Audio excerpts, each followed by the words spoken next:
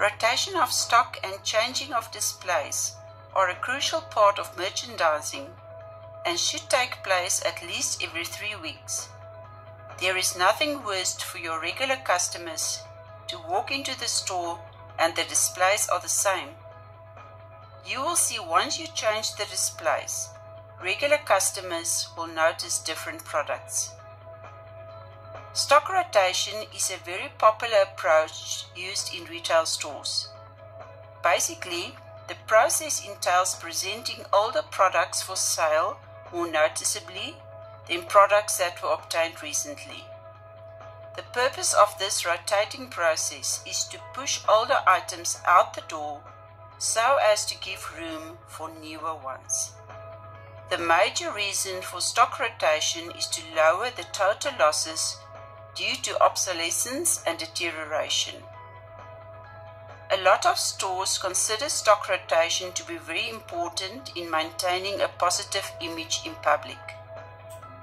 It does not necessarily have to be only perishable goods that are rotated. Clothes that are close to going out of season are rotated to a more noticeable display area so that they could be sold out instead of having to store them until the next year. The procedure of stock rotation is just a simple approach in marketing which can usually assist in the minimization of losses. However, the stock rotation tactic cannot be used in every case. Products that are considered fashionable or those that are seasonal might not be bought regardless of the fact that they are being prominently displayed or that a huge discount is offered. Also, shoppers with enough experience are very familiar with the approach of stock rotation and will usually go for a product which is at the back of the shelf without paying attention to those ones displayed at the front.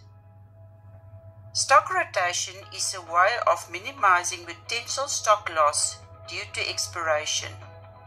Prices are lowered in order to be more appealing to customers. Reduced stock is usually included in the rotation of stock and is therefore moved to the front of the shelf ahead of any unreduced stock. Making use of sales bins are also useful for displaying these items.